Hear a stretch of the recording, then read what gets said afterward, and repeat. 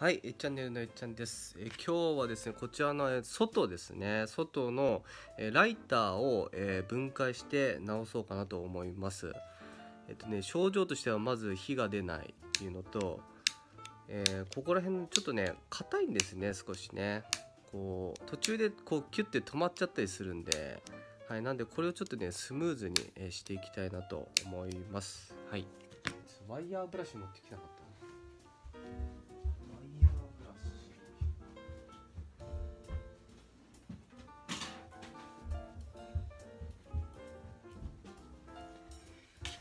よし。あちょっとねネジがねここ錆びついちゃっててで1個取ってみたんですけどこれね。ここの部分。一個取ってみたんですけどちょっと錆びついちゃってて。いや放火じゃないよこれ。いや今日はな直すんですよ。壊すんじゃないですよ。直すんですよ。まずネジがね、えーあるところなんですけどここにねネジがあるんですんごいちっちゃくて錆びついちゃってねこれちょっと舐める可能性がすごい高いんですよねこれ。スライドトーチが詰まったか？うーん。いやなんだろう全体的になんかね液体がかかっちゃってますよねこれね。こんな感じで。すっごい。着火しないの？着火もしないですね。次元式着火に改造するの？いやいや違う。そういうやつじゃないよ。これをねちょっと外していきますすっごいねちっちゃいんだよねこれね。本当にちっちゃくてネジが。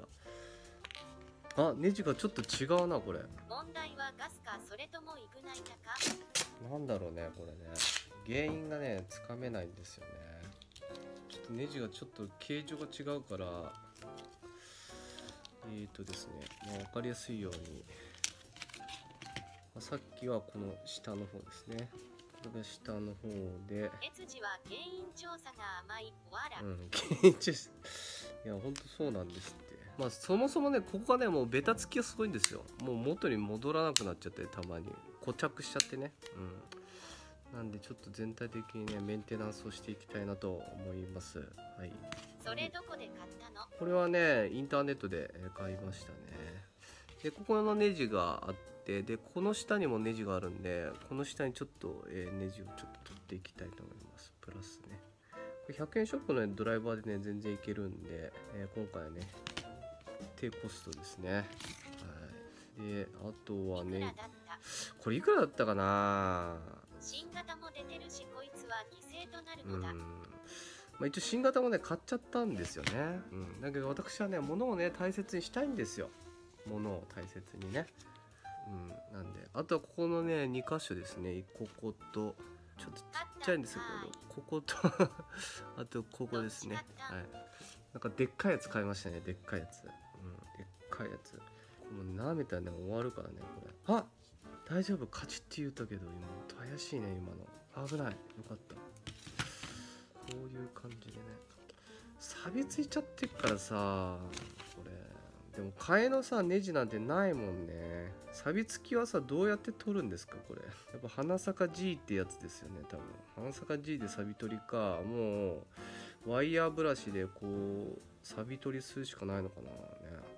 普通のライターみたいのと横に首が曲がってるやつ。うん曲がってるやつじゃなかったななんか。ぶっといやつですねさあじゃあこれをとりあえず取ったんだけどこれがちょっとまずガスガス入れてみよう。ガス。ガス入れないと。ぶっといあの草焼きバーナーを着火で使うのかわら。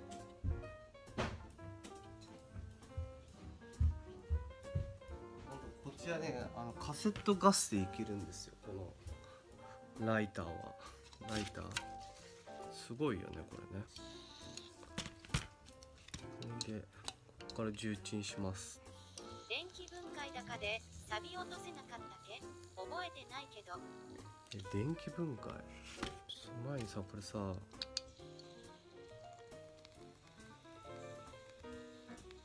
新富士はカセットガスでターボライターが使えるってのがほんとすごい。そうそうそう。あなんか漏れちゃってんだこれ。ガス漏れしてるなこれと待ってまず目詰まりが起こしてるねこれ。えちょっと待って。これは厳しいかもしれないな。このこのガス穴がこのガス穴がちょっと抜けてる。あのバーナーの修理ですね。これダメだな。酒飲まないと手が震えて失敗するよ、うん。これ多分ここの目詰まりが半端ないぞ。とりあえず周りだけちょっと開けてみようか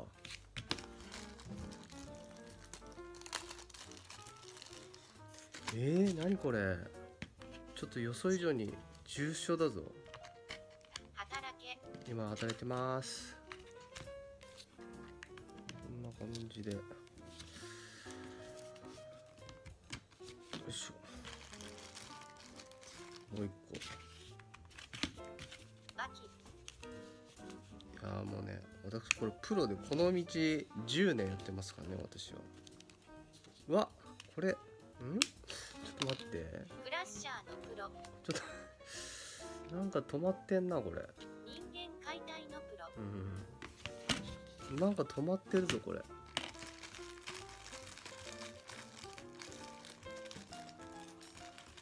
れ？何か止まってますねこれ。一度ばらした物は二度と見ることがないという、うん、なんか引っかかってんなこれ。え？なんだろうこれから先に取るのかもしんないなこれ。これが引っかかってんね。まずこれ まずここを取らないといけないっぽいけど。これどうやって取るんだこれ。そうだねこれ。えー、ちょっと待って。これきついかもしれん。まずばらし方がわかんないわこれ。謎すぎるぞ。えー、どういうこと？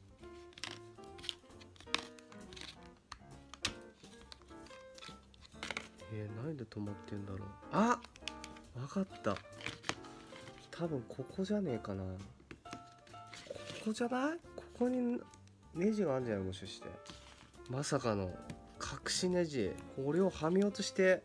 あり得るぞ。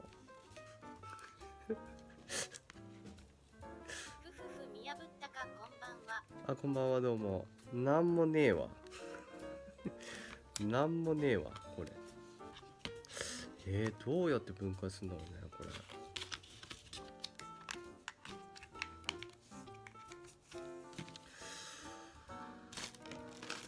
謎すぐるぞこれは。そんなに強い衝撃を与えちゃいけないような気がするこれ。ほらここでなんかね止まってんすよね。止まってんすよ。えー、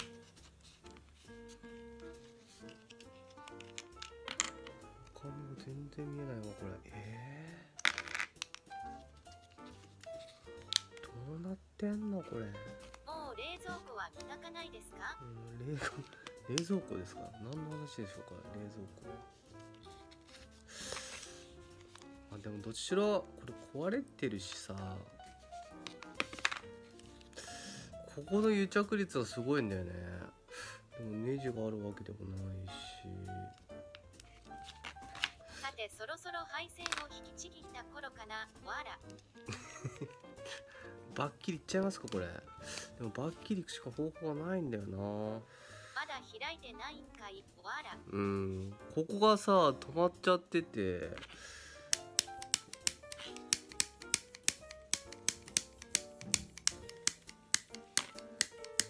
ちょっとさなんか穴が近い。ちょっと待ってもしかしてこれイージーイージーゲインですかねこれ。まさかまさかじゃないですけど。こ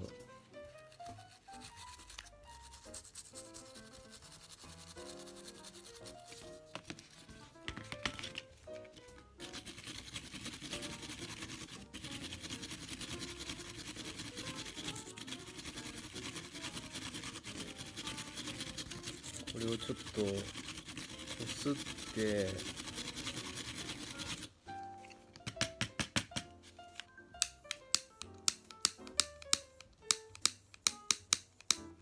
まりっぽいんですけど。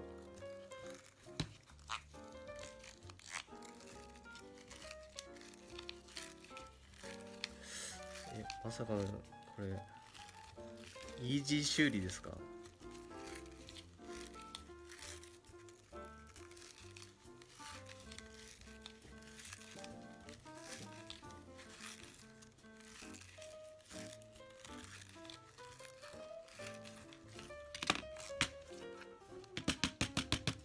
ごい。なんか詰まってるねこれ。あー結構目詰まりしてる。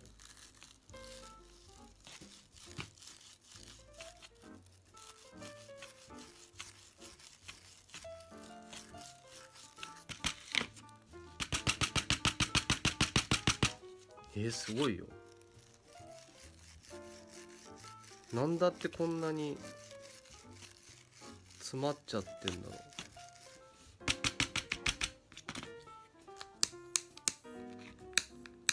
アルコールで洗えば？アルコールで洗ってみる？どっちにせよこれ目詰まりが原因っぽいね。ただただですよ。これ全体的に目詰まりしておりますねこれは、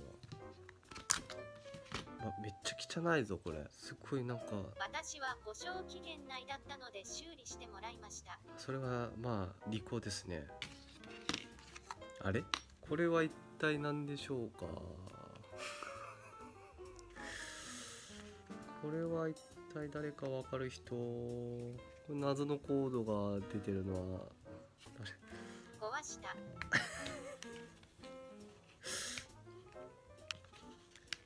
メだな。どっちしろこれは。やったね辻ちゃん。見事に引きちぎったね。おわら。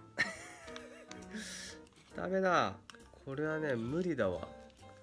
まずこ確か修理内容が逆からブロワー下だったかな。うんこれ。うーん。まあ要はこういうことになったってことですねこうライター。そうライター。こうつながってたってことですねこれねこうつながってたんですねきっとね。このコードが。このカチカチするやつが。あっ！電気が走った。わらわら。まあでもこれ感電した。それ1年くらいで壊れるよ。電気ショックおわら。電気ショックだ。とりあえずちょっと一回これ全体的にバラしてみよう、まあ、どういう仕組みになっているのかですよね中が。気になりますよね皆さんね。もう壊れちゃったからうん。そう1年くらい点火しなくなるんだよねこれね。これ何でひっついてんだろうねこれね。スタンガンに改造しよう、うん。スタンガンっていきますねこれね。えー、何でひっついてんのこれ。もともとバラせない仕様になってんのかなこれね。うちの新富士のライターはもう20年ぐらいに突入したぜ。えー、すごいね。イグナイターは3回交換したうんなんかこれも俺 2, 2個目なんですよねこれ。何でひっついてんだろうね。ここの癒着率はすごいよ。えやっぱりネジなのかな。あーもうなんかネジっていうかほらなんかへこんでますよねこれね。詰まりやすいんですね。詰まりやすいですよね。へこんでるからなんかやっぱりビレットかなんかでくっつけてんだね。あちょっと待って。おいまさかこれもしかしてこれシールあるじゃん。こっちにもシールあるよ。え？え？嘘でしょ？まさかまさかこんなところに嘘だろ？反対ってことはないよな。ちょっと待って。嘘だろ？まさかこっちにネジがあるとかじゃないよね。さっきここペリってしてネジがなかったからないわと思ってこっちつながってる系？つネジがあるやないか。こんなところに反対やないか。おーい。これはいやまさかこんなに長いと思わないよこれネジ。いや長すぎるだろこのネジはこんな長いのいります？これ。いやこおいらもそれ直せなかった。いや直せなかった。今までここんな短くいったらなんなんでここだけこれ？何これ？もうチャートで言うといきなりロングですよこれ。雇用統計ぐらいのローソク足ですこれ。これは何だろう？これはこれなんだろうね。雇用統計はもうぼらないよ。うんこれはあれだねガスを排出するところかなこれはね。この黒いやつはね。それっぽいよねこれ。そもそもねそうヘッドが詰まってるプラスここもねダメなんだよね。ここもちょっともう白草なっちゃっててもう詰まっちゃってんだよねこれね。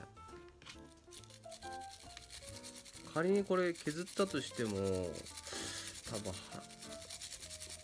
ガス入んないんじゃないかな。こ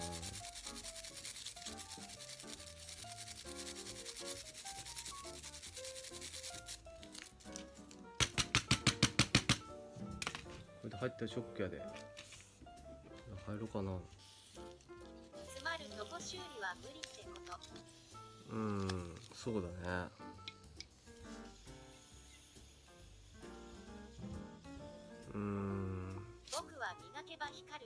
やっぱ詰まってるね。ダメだ。詰まってからは安いガスを使わないようにしました。うん。やっぱこれはここがねやっぱりこのガス入れるところはもう詰まっちゃってるからどうにもならんやつだねこれは。どっちにせよ。これはもう直せないわ。修理も行き詰まったね。うん。削るようなタールだと厳しいけど簡単に治るよ。白くなるのかな。削るようなタール厳しいけど簡単に治る。うーんもうそもそもここがダメなんだね。ということだ。うん。でこれがこういう風にライターがこうつながってるということですね。これが。こういう感じに。これがこういうことらしいですね。ただこのスライドが何よりも直すのが面倒になる原因。うん。そうだね。これはちょっと。で構造としてはここからガスが出てんだねこの黒いやつ。これ空気抜きとかじゃないわ。これがこれが直接ここにこっからガスがガスがバーってきてこの黒いやつがこのホースの中に入ってるっぽいですねこれ。それでこっからガスが放出されてるっぽいですね。下の漏れの原因は？うんこれ下の漏れの原因はこれ詰まりですね。詰まっちゃってる。この詰まりは無理だね。うん。この詰まりあまり使って何のに壊れたのは安いガス管で補充したからかな。え安いやつとそう関係あんの？それ。こぼしたのが固まって詰まったか？うん俺はそう思う。それだと思うな。なんかこぼしちゃってそうなっちゃったんだと思うんだよね。それ系だと思うでここにねなんかちょっと見えにくいんですけどねこの奥の方になんかこれをつなげる管があってその管をこうやってつなげるやつっぽいですねここここね。安いガスでもそんなつまらんけどね。うんつまらんと思うけどね普通ね。でこの隣にあの絶縁あ絶縁じゃないこう電気が走るやつがひっついてるという構造っぽいですねこれいやーこれは無理だ。ライターメーカーはターボでは高いろ過したガスを推奨してるけど。ああそうなんだ。まあそういうのもあんのかなこれね。はいということでですね今回ですねこちらはえちょっと治りませんでした。やっぱこれ目詰まりがやっぱりすごいんですよねこれ。これちょっと見えづらいですけどこれこんなにあの黒いカスがいっぱいついててやっぱここにもねカスがついちゃってるからもうこれごと取んなくちゃダメなんですよね。でこれうんまあいろいろタレとかねまあ確かにあのビールとかこぼしたことあるね。うん。でこっち側もですねやっぱりあのものすごくあの焦げてて、うん、やっぱ火がつかない状態だったんですよね。やっぱりこうか金具でいやビールとかかな。これでこういう感じでねやったはいいんですけど いやいやダメでしょ。だからやっぱりここの部分ですよね。この中のステンレスの部分がすごい詰まっちゃってるからどっちしろこの中を掃除するっていうのはやっぱ不可能なんですよね。だからやっぱりこれこういうのはこういう系は買わないといけないということですねこれは。メンテナンスはちょっと難しいですねこれは、うん。非常に。はい。これ消耗品だっていうことはねよく理解できました。はい。ということでですね今回ちょっと治んなかったんですけどえっ、とまあ他のね、えー、とスライター。のメンテは面倒だよ。うん、ちょっとね面倒だよねこれね。さすがにまあ使いやすい使い勝手はいいんですけどねやっぱこれはある意味短命ですね新本当に。うん。なんでこれちょっとねあのこちらは今回は、えー修理は不可能ということで、えー終わらせていただきます動画を。すいません皆さん期待させていただ期待して、えーいただいたのかもしれないですけどわかんないですけど、うん、星はいやこれもう何何年前だろうこれ。もう4年ぐらい前だと思いますんでね。はい。なんでちょっとこちらはね今回は治らなかったという形になります。まあ次回ですね。まあもう一本ねこれ買ってるんですよね。もし、まあ、もう一本、えーちょっとダメになっちゃいそうであればまあここをね削ってこのヤスリで。であと下もまあこれで、まあ、削ってまあなんとかなるかなっていう感じですよねうんまあこればっかしはねさすがにこれ直せる範疇ではないということになってますはいということでですね、えー今回のねえー動画ちょっといまいちだと思うんですけどえーよく頑張ったなって思う方はグッドボタンよろしくお願いいたします。えー次回もちょっとね分解動画、えー頑張っていきたいと思いますんで、えーよろしくお願いいたします。はい、ありがとうございました。以上動画ですね終了させていただきます。チャンネル登録よろしくお願いします。ありがとうございました。